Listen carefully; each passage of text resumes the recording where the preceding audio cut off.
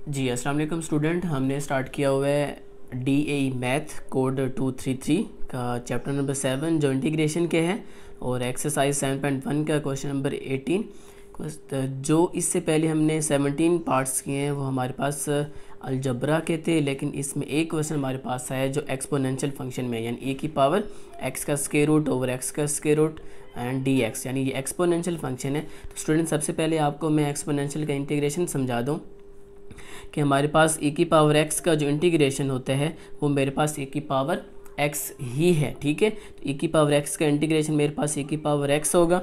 तो सिंपल अगर हम यहाँ पे देखें ए की पावर एक्स का स्केयर रूट है, लेकिन यहाँ पे डिवाइड में भी स्केयर रूट है तो मेरे पास डिवाइड का इंटीग्रेशन का कोई भी रूल नहीं होता। यानी फार्मूला अगर हम देखें डिवाइड का नहीं होता इंटीग्रेशन में तो हमने इसको सबसे पहले सिंप्लीफाई करना है। तो अगर हम स्टूडेंट देखें, इसकी जो पावर हमारे पास है एक्स का स्केयर रूट। अगर मैं इसका डेरिवेटिव लेना चाहूँ d over d x x का square root is equal to यहाँ पे इसकी पावर वन बाई टू है तो मैं यहाँ पे पावर रूल यूज़ करूँगा। डेरिवेटिव का क्या पावर रूल है?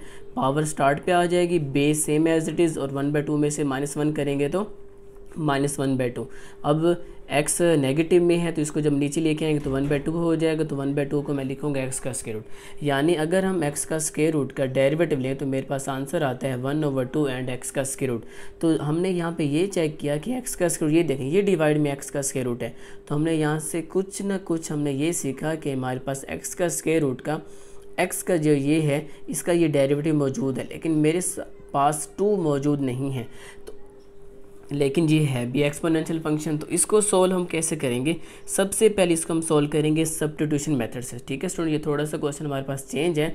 तो जो फ़ंक्शन मेरे पास है, ये फ़ंक्शन और ये सिंपल डेरिवेटिव है तो डेरिवेटिव रूल हम अप्लाई करें इस पर ठीक है, जो डेरिवेटिव के मेथड्स हैं कि जो मेरे पास एक्स का स्के रूट है, उसको अब लेट कर लीजिए किसी भी नंबर के, यानी टी के इक्वल कर लें थीटा के कर लें जी के कर लें तो मैंने इसको यहाँ पे टी के इक्वल किया। तो सब्डिट्यूशन का मेथड क्या था कि जैसे ही आप उसको लेट करते हैं, उसके फ़ौर बाद हमने उसका क्या लेना है यहाँ पे? डेरिवेटिव ये हम डेरिवेटिव में एक सब्डिट्यूशन का मेथड कर चुके हैं कि अगर हमारे पास डेरिवेटिव का कोई रूल ना हो तो हम उसको सब्डिट्यूशन मेथड से भी कर सकते हैं। जो मेरे पास क्या होगा, जो फ़ंक्शन होगा, हम उसको लेट कर लेते हैं किसी भी नंबर के। उसके फ़ौर बाद हमने उसका डेरिवेटिव लेना होता है। तो एक्स का स्केयर रूट का मैंने डेरिवेटिव ले लिया और is equal to d over d x t का भी मैंने, ये सारा रफ था मेरे पास। टी का भी मैंने डेरिवेट ले लिया। अब एक्स वन बाई टू का डेरिवेट क्या होगा? वन बाई टू पावर शुरू में x same as it is one by two में से माइनस वन करूँगा तो माइनस वन बाई टू आ जाएगा। और d t over d x वैसे का वैसे। अब यहाँ पे एक्स मेरे पास नेगेटिव है तो सबसे पहले मैं इसको पॉजिटिव बना लूँगा। माइनस वन बाई टू नीचे आके वन बाई टू हो जाएगा तो वन बाई टू को मैंने लिखा स्केयर रूट में। और d t over d x अब हम क्या करना चाह रहे हैं? एक्स को एक्स डी एक्स के साथ रखेंगे और डी टी को हम अलहदा कर लेंगे तो डी एक्स यहाँ पर डिवाइड हो रहा है वन के साथ मल्टीप्लाई हो जाएगा तो ये डी एक्स हो जाएगा और एक्स का स्केयर रूट और ये जो टू है, उधर जाके टी के साथ डी टी के साथ मल्टीप्लाई हो जाएगा। यानी हमने एक्स को डी एक्स के साथ अटैच कर लिया और कांस्टेंट को हमने डी टी डी टी के साथ अटैच कर लिया। ये इसका मेथड होता है। जैसे ही ये मेरे पास कंप्लीट होगा तो मेरे पास फ़ौर हमने क्या करना है? अब जो हमारे पास क्वेश्चन था असल में उसमें अब हमने इन वैल्यूज़ को पुट करने हैं। Now putting the values integration e की पावर एक्स का स्केयर रूट एक्स का स्केयर रूट मैंने क्या लेट किया था? ठीक है तो यहाँ पे टी आ जाएगा। डी एक्स ओवर एक्स का स्केयर रूट ये देखें डी एक्स ओवर एक्स का स्केयर रूट किसके इक्वल हमने कर लिया? टू और डी टी के। ठीक है स्टूडेंट हमने इसमें पुट किए एक्स ई एक्स का स्केयर रूट मेरे पास टी था तो मैंने यहाँ पे टी पुट कर लिया पावर में। डी एक्स ओवर एक्स का स्केयर रूट मेरे पास था। टू डी टी तो ये डू टू डी टी है। हमारे पास सब्टिट्यूशन का मेथड भी यही होता है कि एक्स को ख़त्म करके हम दूसरा नंबर ले आते हैं। तो ये कांस्टेंट है। कांस्टेंट को हम पहले बाहर ले आते हैं। इंटीग्रेशन अब ले लेंगे ए की पावर टी डी टी का। तो अब मेरे पास, मैंने आपको समझाया था कि हमारे पास एक्सपोनेंशियल फ़ंक्शन का इंटीग्रेशन हमारे पास एक्सपोनेंशियल फ़ंक्शन ही होते हैं। तो two same as it is रहेगा। ए की पावर टी का मेरे पास डेरिवेटिव क्या सॉरी इंटीग्रेशन क्या है? ए की पावर टी ही है प्लस सी लास्ट पे हमने, अब देखिए क्वेश्चन मेरे पास एक्स में है। आंसर मेरे पास टी में आया, जो रॉन्ग होगा।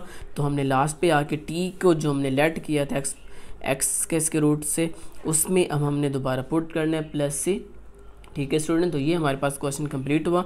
आंसर हमारे पास है टू ई की पावर एक्स का स्क्वेयर रूट प्लस सी तो ये क्वेश्चन हमारे पास थोड़ा सा चेंज था एटीन ठीक है, अब हमारे पास है क्वेश्चन नंबर नाइनटीन तो नाइनटीन मेरे पास क्या है? ये भी बिल्कुल ईजी है, लेकिन एक्सपोनेंशियल में है। Integration one by two e की power one by two x minus e की power minus one by two x और ये डी एक्स अब देखें, दोबारा मेरे पास एक्सपोनेंशियल फ़ंक्शन आया है, लेकिन उनसे उससे पहले वन बाय टू कॉन्स्टेंट है, इसको आप इंटीग्रेशन से बाहर ले लीजिए, क्योंकि जब भी इंटीग्रेशन के साथ सॉरी वेरिएबल के साथ अगर कोई कांस्टेंट मल्टीप्लाई हो रहा हो तो इंटीग्रेशन से पहले वो आ जाता है और इंटीग्रेशन हम ले लेंगे ई e की power one by two x यानी मैं इंटीग्रेशन को भी अंदर अप्लाई कर रहा हूँ। माइनस इंटीग्रेशन ए की power minus one by two x और डी एक्स ठीक है स्टूडेंट ये मैंने इंटीग्रेशन को अंदर अप्लाई कर लिया दोनों के साथ।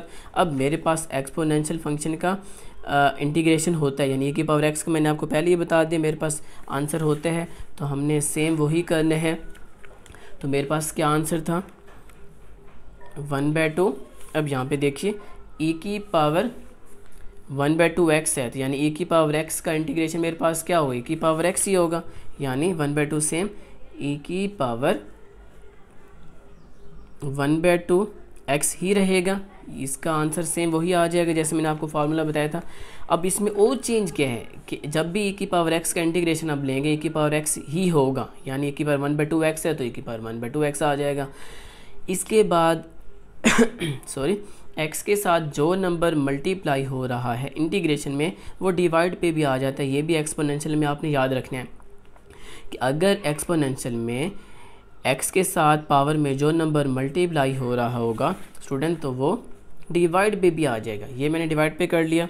माइनस, अब देखें ए की power minus one by two हमारे पास है। ए की power minus one by two x का इंटीग्रेशन मेरे पास क्या होगा? सेम वही ए की power one by minus one by two x ही होगा और डिवाइड में एक्स के साथ जो नंबर मल्टीप्लाई हो रहा है, वो आपने डिवाइड भी करना है। ये लाजमी याद रखिएगा अब one by two same as it is, अब वन बाई टू डिवाइड ऊपर जाके ये टू हो जाएगा, ए की power one by two x minus minus ये प्लस हो जाएगा, वन बाई टू पर जाके टू हो जाएगा, ए की power minus one by two x और ये प्लस सी ये भी इसका आंसर बिल्कुल ठीक है, लेकिन हम देखा, देखें तो टू दोनों में है हम इसको टू को बाहर ले लेंगे कॉमन ये one by two same as it is रहेगा, ये टू मैंने बाहर ले लिया और बाकी वैल्यूज़ मैंने वैसी की वैसी ही लिखनी है minus one by two x plus c अब इस टू से ये टू हमारा हुआ कैंसिल तो ए की power one by two x plus a की power minus one by two x plus c ठीक है क्वेश्चन स्टूडेंट तो ये था हमारे पास क्वेश्चन नाइनटीन जिसका हमारे पास आंसर है। ए की power one by two x plus ए की power minus one by two x और प्लस का सी ठीक है स्टूडेंट तो ये हमारे पास क्वेश्चन नंबर नाइनटीन था। अब हमारे पास है क्वेश्चन नंबर ट्वेंटी जो बिल्कुल ईजी है हमारे पास। ट्वेंटी ये भी इम्पोर्टेंट क्वेश्चन है। इंटीग्रेशन ए की पावर एक्स प्लस ई की पावर माइनस एक्स और होल का स्केयर एन डी एक्स। अब देखें, इस तरह का क्वेश्चन हम पहले कर चुके हैं। क्वेश्चन नंबर हमारे पास था सेवनटीन कि जब भी हमें बेस की पावर नज़र आ जाए, लेकिन पावर हमारे पास टू हो तो ज़्यादातर वहाँ पे हमने एक पावर यानी जो स्केयर है ओपन करना यानी ए प्लस बी होल का स्केयर ओपन करना होगा हमने तो सबसे पहले मैं स्केयर ओपन कर रहा हूँ। ए प्लस बी होल का square is equal to a का स्केयर प्लस बी का स्केयर मैंने लिख लिया, और प्लस टू फार्मूले का ए और ये बी लिख लिया। ठीक है स्टूडेंट और ये डी एक्स यानी ए प्लस बी का स्केयर ए का स्केयर प्लस बी का square plus two a b अब हम इसको सिंप्लीफाई कर रहे हैं। पावर से पावर मल्टीप्लाई होती है। पावर से पावर मल्टीप्लाई होती है। अब देखें बेस सेम है मल्टीप्लाई में है। तो हम क्या पढ़ चुके हैं? पावर को हम ऐड करेंगे। लेकिन यहाँ पे आगे माइनस है तो प्लस माइनस माइनस हो जाएगा। और ये डी एक्स अब e की power two x plus e की power minus two x same plus two x से एक्स कैंसिल हो गया, क्या बचा? ई की पावर ज़ीरो डी एक्स अभी भी हम थोड़ा सा इसको सिंप्लीफाई कर सकते हैं ए की power two x plus a की power minus two x plus two और ए की power zero is equal to one होता है। हमें ये पहले ही पता है कि किसी भी नंबर की पावर अगर ज़ीरो हो तो आंसर वो वन ही देती है। तो ई की power zero is equal to one. अब देखिए स्टूडेंट, मेरे पास सबका आंसर इंटीग्रेशन के है तो मैं इंटीग्रेशन को सबसे पहले अंदर अप्लाई कर रहा हूँ।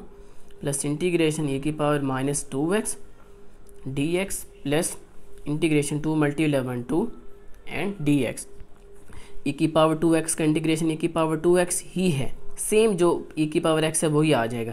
लेकिन जो एक्स के साथ नंबर मल्टीप्लाई है, वो डिवाइड पे आ जाएगा। ई की पावर माइनस टू एक्स का डेरिवेट इंटीग्रेशन ई की पावर माइनस टू एक्स ही है।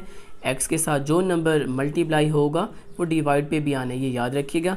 अब देखें, टू कॉन्स्टेंट है तो टू बाहर आ जाएगा और हम इंटीग्रेशन लेंगे डी एक्स का तो यहाँ पे इंटीग्रेशन से डेरिवेटिव कट हो जाएगा, आंसर बचेगा बाकी हमारे पास एक्स और प्लस सी तो ये भी इसका आंसर मैच ही है हमारे पास। लेकिन हम सिंपल क्या कर रहे हैं कॉन्स्टेंट को प्लस माइनस माइनस हो जाएगा, ये वन बाई टू हमारे पास है।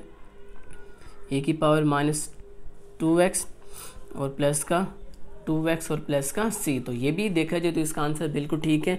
वन बाई टू अगर आप बाहर लेना चाहते हैं कॉमन तो तब भी ठीक है, लेकिन ये भी आंसर हमारा मैच ही है। ठीक है स्टूडेंट तो ये हमारे पास था क्वेश्चन नंबर ट्वेंटी, जो बिल्कुल ईजी है सिंपल है कि अगर आपको बेस की पावर नज़र आ जाए तो पहले आप चेक करेंगे कि बेस का अगर आगे डेरिवेटिव है तो मैं इस पर पावर रूल यूज़ करूँगा। अगर नहीं है बेस का अगर आगे डेरिवेटिव तो हम उसको किसी ना किसी तरह सिंप्लीफाई करेंगे। तो एक मेथड ये है कि अगर बेस की पावर टू हो तो हम उस पर सबसे पहले ए प्लस बी होल का स्केयर ओपन करेंगे। तो ये क्वेश्चन मैंने सॉल्व किया और ये हमारे पास है क्वेश्चन नंबर ट्वेंटी का आंसर ठीक है स्टूडेंट